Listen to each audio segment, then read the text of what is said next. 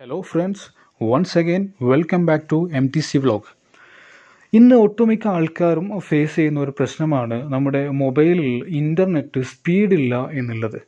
നമ്മുടെ മൊബൈൽ സെറ്റിങ്സിൽ ചെറിയ മാറ്റങ്ങൾ വരുത്തിയും അതുപോലെ പുതിയ ഒരു ആപ്ലിക്കേഷൻ ഇൻസ്റ്റാൾ ചെയ്തുകൊണ്ടും വളരെ ഈസി ആയിട്ട് ഈ പ്രശ്നം നമുക്ക് പരിഹരിക്കാൻ പറ്റുന്നതാണ്. വളരെ ഹൈ സ്പീഡായി നമുക്ക് നെറ്റ് വളരെ ഈസി ആയിട്ട് ഉപയോഗിക്കാൻ പറ്റും. അതെങ്ങനെയാണെന്ന് നമുക്ക് നോക്കാം. വളരെ ചെറിയൊരു വീഡിയോ ആണ്.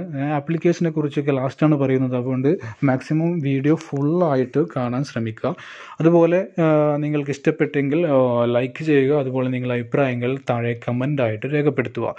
അപ്പോൾ വീഡിയോയിലേക്ക് അടക്കാം അതുപോലെ ആരെങ്കിലും എന്റെ ചാനൽ സബ്സ്ക്രൈബ് ചെയ്തില്ലെങ്കിൽ താഴെ പോയി സബ്സ്ക്രൈബ് ബട്ടൺ ക്ലിക്ക് ചെയ്യുക. അതിനടുത്തുള്ള ബെൽ ഐക്കൺ കൂടി ഒന്ന് ഇനേബിൾ ചെയ്യാം. അപ്പോൾ നമുക്ക് വീഡിയോയിലേക്ക് കിടക്കാം.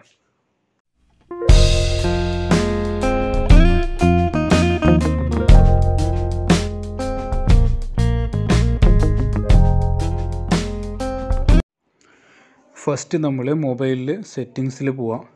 മൊബൈൽ സെറ്റിങ്സിൽ സിം ആൻഡ് മൊബൈൽ നെറ്റ്വർക്ക് എന്നുള്ള ഓപ്ഷനിൽ ജസ്റ്റ് ഒന്ന് ക്ലിക്ക് ചെയ്യുക അപ്പോൾ നിങ്ങൾ സിമ്മിന്റെ നെയിം മുകളിൽ കാണാൻ ഏറ്റവും ഫ്രണ്ടിൽ അവിടെ ഒന്ന് ക്ലിക്ക് ചെയ്യുക അവിടെ ക്ലിക്ക് ചെയ്ത് കഴിഞ്ഞ് കുറച്ച് താഴോട്ട് അടിച്ച് കഴിഞ്ഞാൽ ആക്സസ് പോയിന്റ് നെയിം എന്ന് കാണും. അവിടെ ഒന്ന് ക്ലിക്ക് ചെയ്യുക അവിടെ ക്ലിക്ക് ചെയ്ത് കഴിഞ്ഞാൽ ഇങ്ങനത്തെ ഒരു ഇന്റർഫേസ് ആണ് open ആവൽ. A P N edit access point എന്ന് കാണിക്കും. അതിൽ കുറച്ച് താഴോട്ട് പോയി കഴിഞ്ഞാൽ സെർവർ എന്നുള്ളൊരു ഓപ്ഷൻ ഉണ്ടാവും. അവിടെ ജസ്റ്റ് ഒന്ന് ക്ലിക്ക് ചെയ്യുക എന്നിപ്പോൾ ഇങ്ങനെ ഒരു ഇത് ഓപ്പൺ ആയി കഴിഞ്ഞാൽ അവിടെ W W W dot Google dot com ഇങ്ങനെ ടൈപ്പ് ചെയ്തിട്ട് സേവ് കൊടുക്കുക. അത് കഴിഞ്ഞ് കുറച്ചും കൂടെ താഴോട്ട് വന്നു കഴിഞ്ഞാൽ എ പി എൻ പ്രോട്ടോക്കോൾ എന്നുണ്ടാവും. അവിടെ ഒന്ന് ക്ലിക്ക് ചെയ്യാം. അപ്പോൾ അവിടെ ഇങ്ങനെ മൂന്ന് ഓപ്ഷൻസ് ഉണ്ടാവും. I P V four I P V six I P V four or I P V six എന്നുള്ള മൂന്ന് ഓപ്ഷൻസ് ഉണ്ടാവും. അതിൽ മൂന്നാമത്തെ options I P V four slash I P V six എന്നുള്ള ഓപ്ഷൻസ് ഇനേബിൾ ചെയ്യുക okay അതിനുശേഷം ഒന്നുകൂടെ ബാക്കോട്ട് പോവുക അടുത്തത് A P N roaming protocol എന്നുണ്ടാവും. അവിടെ ജസ്റ്റ് ഒന്ന് ക്ലിക്ക് ചെയ്യുക നേരത്തെ അതേ മൂന്ന് ഓപ്ഷൻ അവിടെ ഉണ്ടാവും. I P V four I P V six I P V four or I P V six അതിൽ മൂന്നാമത്തെ option I P V four or I P V six എന്നുള്ള ഓപ്ഷൻ ഇനെ ഇനേബിൾ ചെയ്യുക എന്നിട്ട് ബാക്കോട്ട് പോയി കഴിഞ്ഞാൽ സേവ് സേവ് ഉണ്ടാവും. സേവ് കൊടുക്കുക.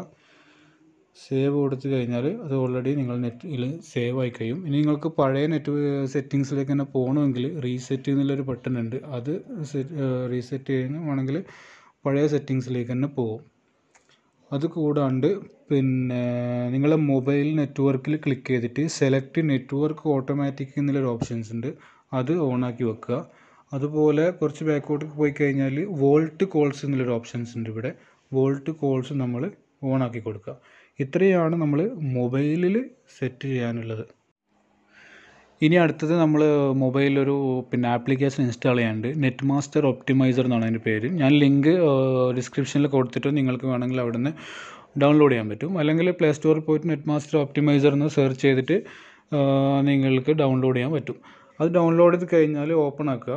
ഓപ്പൺ ആയി കഴിഞ്ഞാൽ ഞാനിപ്പോൾ നേരത്തെ ഇത് ഇൻസ്റ്റാൾ ചെയ്തുകൊണ്ടാണ് ഇങ്ങനെ കാണിക്കുന്നത്. അല്ലെങ്കിൽ ഫസ്റ്റ് ആണെങ്കിൽ താഴെ ലെഫ്റ്റ് സൈഡിൽ താഴെ ഒരു പെർമിഷൻ ചോദിക്കും. അപ്പോൾ പെർമിഷൻ കൊടുത്തിട്ട് ഓൺ കൊടുക്കുക. ഓൺ കൊടുത്തു കഴിഞ്ഞാൽ ഇങ്ങനെ ഒരു ഇന്റർഫേസ് വരും. ടാപ്പ് ടു കണക്റ്റ് എന്ന് വരും. അപ്പോൾ അടിയിൽ അത് ടാപ്പ് ടു കണക്റ്റ് ഒന്ന് ജസ്റ്റ് ഓൺ ആക്കി കൊടുക്കുക. ഇങ്ങനെ ഓണാക്കി കൊടുത്തു കഴിഞ്ഞാൽ നമ്മുടെ മൊബൈൽ നെറ്റ്വർക്കിന് ആവശ്യമായ ഏറ്റവും ഇന്റർനെറ്റ് സ്പീഡോട് കൂടിയ ഡി എൻ എ സെർവർ ഓട്ടോമാറ്റിക്കായിട്ട് ഈ ആപ്ലിക്കേഷനിലൂടെ ഈ ആപ്ലിക്കേഷനിലൂടെ ഫോണുമായിട്ട് കണക്റ്റ് ആവും അപ്പോൾ ഇത്രയും കാര്യങ്ങളാണ് നിങ്ങൾ മൊബൈലിൽ ചെയ്യേണ്ടത്. നിങ്ങൾ ട്രൈ ചെയ്യുക. നല്ല വ്യത്യാസം നിങ്ങൾ മൊബൈലിന്റെ നെറ്റ് സ്പീഡിൽ നല്ല ഡിഫറന്റ് നിങ്ങൾക്ക് ഫീൽ ചെയ്യാൻ പറ്റും.